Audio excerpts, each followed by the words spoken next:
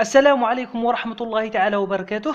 مرحبا بكم على قناتكم قناة سوبر وان التعليمية. اليوم لدينا اختبار للفصل الثاني في مادة الرياضيات دائما مع السنة الثانية ابتدائي.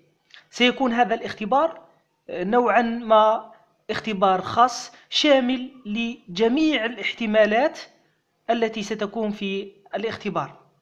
سنبدأ على بركة الله بالتمرين الأول. التمرين الأول يقول أكمل العمليات الحساب الحسابية الآتية. المفروض هذه العمليات ستكون فاكهة للطفل أو نقطة مضمونة. لازم يكون العمليات هذو لازم تكون عنده شيء سهل. نبدأ على بركة الله بالعملية الأولى. سبعة زائد ثلاثة كم يساوي؟ عشرة. قلنا دائما نكتب الوحدات ونحتفظ بالعشرات.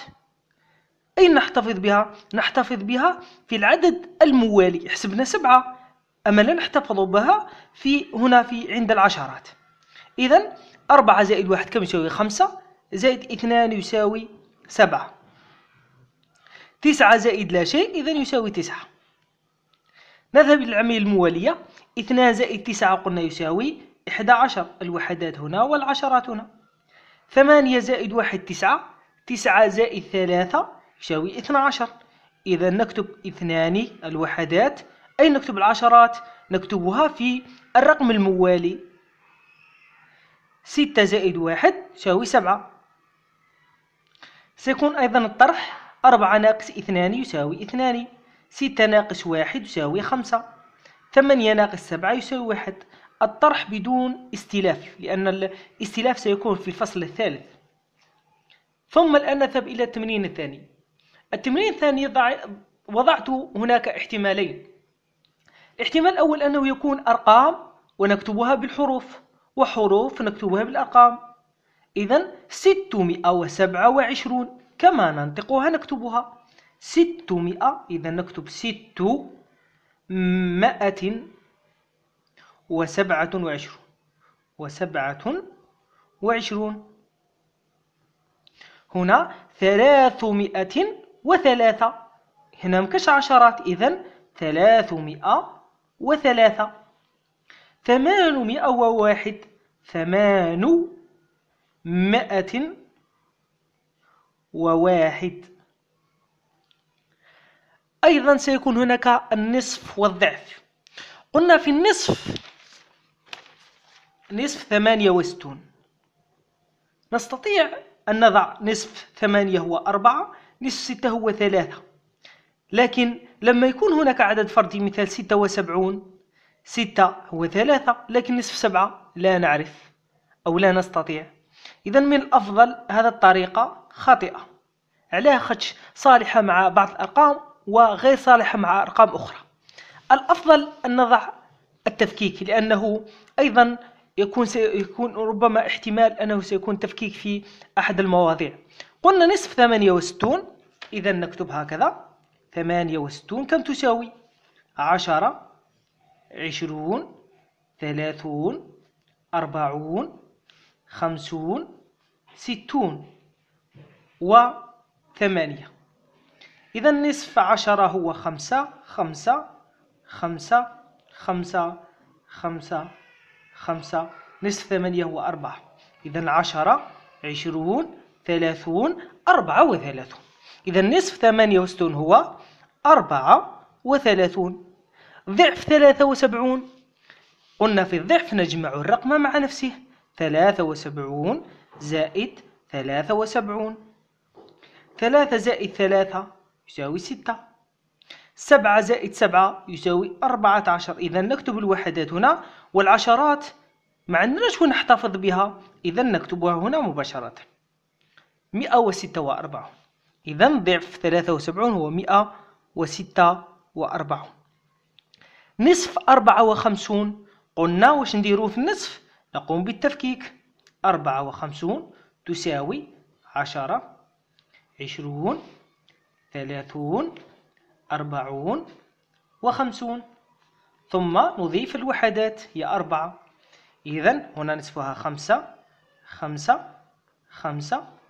خمسة خمسة واثنان إذا عشرة عشرون خمسة وعشرون سبعة وعشرون. إذا نصف أربعة وخمسون هو سبعة وعشرون. الآن نذهب إلى الدرس التمرين الموالي وهو تمرين الساعات.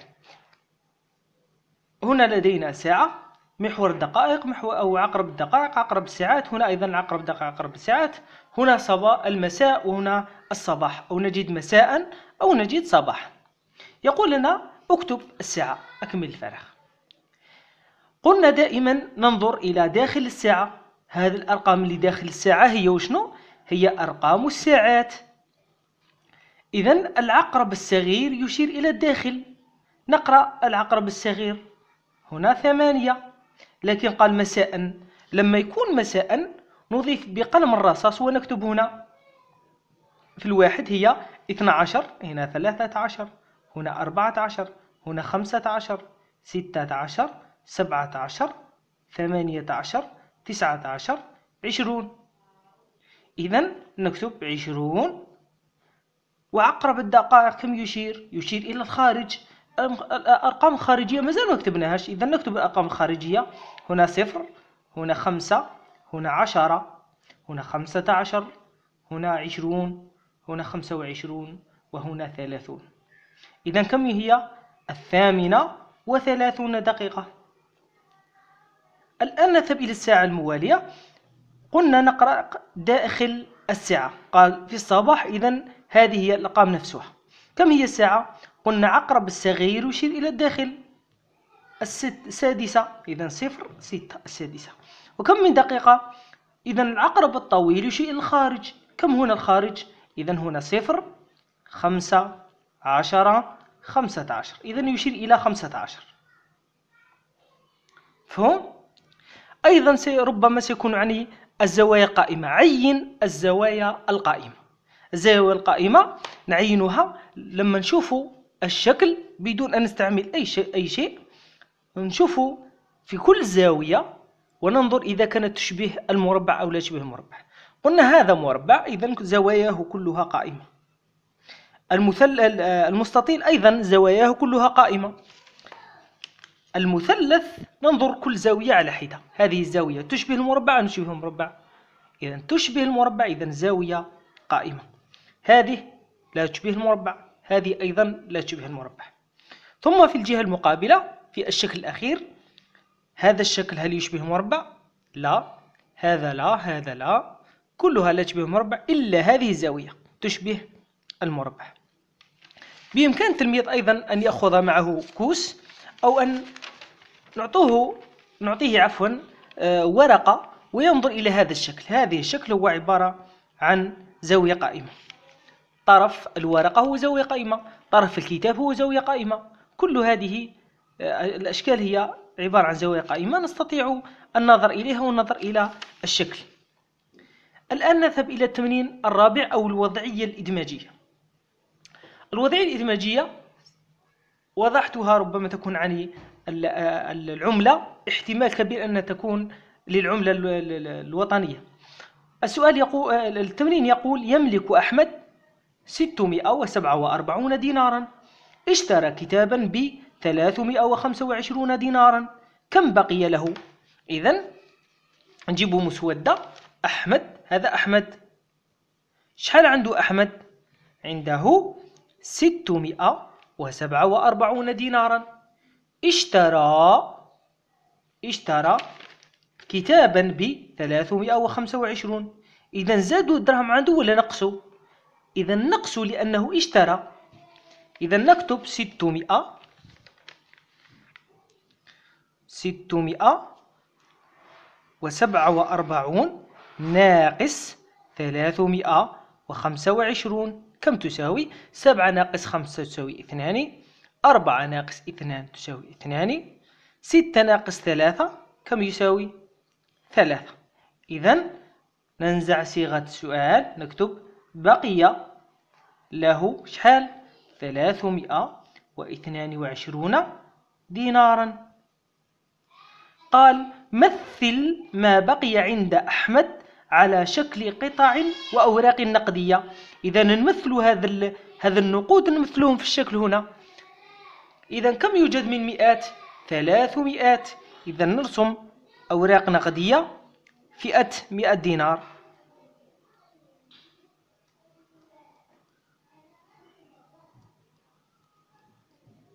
ثم كم يوجد من عشرات؟ عشرون إذا نرسم فئتين أو فئة واحدة من فئة العشرات أو فئتين من فئة عشرة عشرة أو فئة واحدة من فئة العشرون دينار. إذا نكتب عشرة عشرة. ثم دينارين الوحدات معناها واحد واحد. إذا أيضا دينار واحد وهنا دينار واحد. ننتقل إلى الشطر الموالي. قال أراد شراء لعبة ب 212 دينارا أحط بالمبلغ الذي يعطيه للبائع. شحال يمد للبائع؟ إذا اللعبة دير 212 نمثل كم يوجد من مئات؟ 200 إذا نحيط بالمئات. كم يوجد من عشرات؟ عشرة واحدة. إذا نحيط بفئة العشرات أيضا.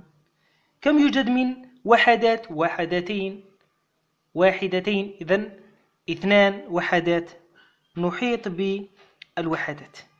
هكذا يكون خلصنا هذا التمرين. ربي يوفقكم ويوفق وليداتكم إن شاء الله. إن شاء الله يجيبوا آه، معدل شباب ويفرحكم ويفرحونا إن شاء الله. إلى هنا يكون خلص معنا الفيديو تاعنا اليوم. انتظرونا في فيديوهات لاحقة. والسلام عليكم ورحمة الله تعالى وبركاته.